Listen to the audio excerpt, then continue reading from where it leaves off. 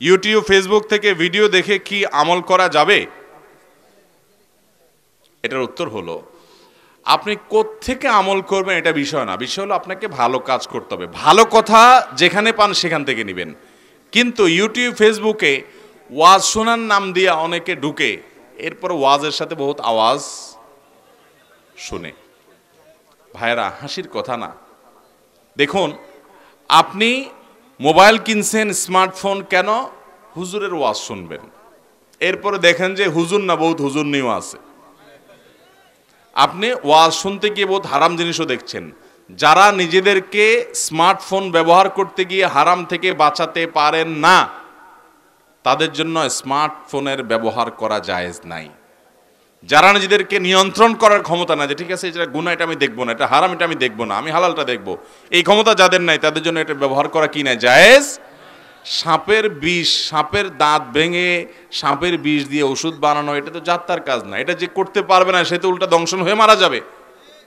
অতএব আপনি স্মার্টফোন থেকে ভালো ভালো জিনিস শিখে আমল করবেন, ভালো কথা। কিন্তু এটা যদি করতে না পারেন, উল্টা বরং আরও ধরা খান আজকাল বেশিরভাগ যুবকরা মোবাইল ব্যবহার করে না। মোবাইলে তাদেরকে ব্যবহার করে। মোবাইলে ব্যবহার করা বুঝছেন? মানে সে মোবাইলে এডিক্টেড হয়ে গেছে। এটা এক প্রকারের নেশা। দেখবেন যে অযথাই হুদাই পোলা পায়নে আঙ্গুল দিয়া শুধু কেল স্ক্রল করে স্ক্রল করে। আঙ্গুলের এইটা অনুবীক্ষণ যন্ত্র দিয়ে দেখলে দেখা যাবে যে ক্ষয় হয়ে গেছে। গোসতে গোসতে গ্লাসে আরে ভাই, কত কত কেরিয়ার ধ্বংস হচ্ছে। হাজার হাজার ঘণ্টা শেষ হচ্ছে। ফেসবুক ইউটিউব যারা ব্যবহার করেন, আল্লাহর ওয়াস্তে এটাকে নিয়ন্ত্রণ করেন। আমি দিনে সকালে আধা ঘণ্টা, দুপুরে আধা ঘণ্টা, রাতে আধা ঘণ্টা, এই টাইম ব্যবহার করব বাইরে করব না। যা করা দরকার, যত দোস্ত আছে, সবগুলার জবাব কমেন্ট রিপ্লাই ইনবক্সের রিপ্লাই সব আধা ঘণ্টা ভিতরে, বাস শেষ। এভাবে নিয়ন্ত্রণ করলে দেখবেন আপনার জীবনে বরকত আসবে। আর না হলে ছন্ন ছাড়া হয়ে যাবেন। মনে রাখবেন, যত সফল মানুষ আছে, যত সফল মানুষ যত বড় বড় মানুষ আছে, তারা কেউ ফেসবুকের নেশায় আক্রান্ত না। ফেসবুকের নেশায় আক্রান্ত যুবকরা বড় কিছু হওয়ার সম্ভাবনা খুবই ক্ষীণ, যতক্ষণ পর্যন্ত সেটা না ছাড়তে পারে। বাংলাদেশের প্রথম সারির একজন ধনী আছে। আমি নাম বলে আপনারা সবাই চিনে যাবেন।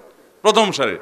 ওনার সাথে, ওনার ওনার ছেলে সহ একটা মিটিং আমার হয়েছে একবার। তো আমি, আমাকে যে নিয়ে গেছে, সে বলে হুজুর আপনাকে তো চিনবে যেহেতু ফেসবুক ইউটিউবে মানুষ অ্যাক্টিভ আছে, আপনাকে চিনবে। তো আমায় যাওয়ার পরে ভদ্রলোক বলল, না ভাই, আপনার তুমি চিনলাম না। আমি তো চিনতে পারলাম হায় হায়, এটা তো অপমান করার কথা আমার চিনল না। পরে বেচারা বলতেছে যে যে উনি শিক্ষিত মানুষ, বড় ব্যবসায়ী মানুষ, বলো যে, ভাই মাইন্ড করেন না, আমি আসলে আমার মোবাইলে ফেসবুক অ্যাপই নেই ইউটিউব অ্যাপই আমার মোবাইলে নেই টিকটক ফিকটক তো পরের কথা, এগুলো আমার মোবাইলে নাই। কাজের মানুষরা অতিরিক্ত বেহুদা কাজের সময় ব্যয় করে।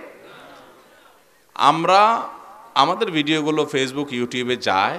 যারা বেহুদা কাজ করে, তারা যেন বেহুদা কাজের ফাঁকে হইলেও কিছু ভালো জিনিস জানে অথবা বেহুদা কাজ না ছাইড়ে অন্তত কিছু ভালো জিনিস দেখে। এইটার জন্য আমরা অনেক টেলিভিশনের প্রোগ্রাম করি। এর মানে এই না যে আমরা মানুষকে বলি, ভাই, আমার প্রোগ্রাম দেখার জন্য আপনি টেলিভিশন কিনিয়া ডিশ কানেকশন লাগাইবেন। এটা কোনো হুজুর কোনো দিন বলে আমরা বলি যে সারা দিন নর্দমার মধ্যে পড়ে থাকেন, অন্তত কিছু সময় ভালো জিনিস দেখেন, মন্দের ভালো, এতটুকু। অতএব যারা এটাকে নিয়ন্ত্রণ করতে পারেন না, তাদের জন্য এটা ব্যবহার করা যায় নাই অনেক সফল, সার্থক, বড় বড় মানুষ আছে। দেখবেন যে তারা এই অ্যাপ ব্যবহার করে না। এই যে রকমারির মালিক সোহাগ ভাই আছেন না উদ্ভাসম্যে সকমারি হ্যাঁ? অনেক বড় বড় আবিষ্কার তার আছে। খুব বেশি অনেক সিনিয়র মানুষ তা না, আমাদের বয়সী মানুষ। ওনার মোবাইলে কোনো ফেসবুকের অ্যাপ উনি ইউজ করেন না, ওনার আইডি ইউজ করেন না। কালে ভদ্রে হঠাৎ কোনো প্রয়োজন উনি ইউজ করেন, ব্যাস। তো সফল এবং সার্থক মানুষ এগুলোকে কন্ট্রোল করে। যুবক ভাইরা, আমি বিশেষ করে কিশোর বয়সে যারা আছে, তোমাদেরকে বলছি, আল্লাহর ওয়াস্তে এই ফেসবুক ইউটিউব টিকটকের নেশা তোমরা ছেড়ে দাও। আমাদের প্রজন্ম শেষ হয়ে যাচ্ছে, ধ্বংস হয়ে যাচ্ছে। মা বাপ পর্যন্ত চিনে না। ওই যে একটা গল্প আমি বিভিন্ন সময় বলি, কোথায় যেন গল্পটা দেখছি। যে এক ছেলে সারাদিন মোবাইল টিপতে টিপতে ঘরে ঢুকে আবার মোবাইল টিপতে টিপতে বাইরে যায়। কি খায়, কি না খায়, কিছুই জানে না। মা চেনে না, বাপ চেনে না, ভাই চেনে না, বোন চেনে না। বেশিরভাগই এরকম মানে কিছুটা কি বলা যায়, আপনার মানসিক রোগীর মতো হয়ে গেছে আমাদের ছেলেপেলেরা। তো এক ছেলে একবার মোবাইল টিপতে টিপতে টিপতে হঠাৎ করে মোবাইলটা ধাপ করে ফেলে দিয়ে তার মায়ের দিকে তাকায় একটা হাসি দিছে, নির্মল হাসি, স্বচ্ছ হাসি। মা চিন্তা করল, হায় রে, আমার বাজান তো কতদিন হয়েছে আমার দিকে তাকে একটু হাসে না। আজকে এত সুন্দর করে এরকম নির্মল হাসি দিল কাহিনীটা কি? তো মা জিজ্ঞেস করল, বাবা, হঠাৎ করে আজকে এত সুন্দর করে একটা হাসি দিলা, কি কাহিনী, কি ব্যাপার, কি? তো ছেলে বলছে, মা মোবাইলের চার্জ শেষ হয়ে গেছে। মোবাইলে কি হয়ে গেছে? চার্জ শেষ, এখন আর টিপতে পারতেছি না। এই জন্য তোমার দিকে তাকে একটা হাসি দিস ভয়ঙ্কর একটা জায়গা চলে যাচ্ছে। ভাইরা যারা কিশোর বয়সে আছেন, তরুণ আপনারা মোবাইলের নিয়ন্ত্রণ করবেন তো ইনশাআল্লাহ। মোবাইলের নিয়ন্ত্রণ না করলে জীবনে কিছু করতে পারবেন না।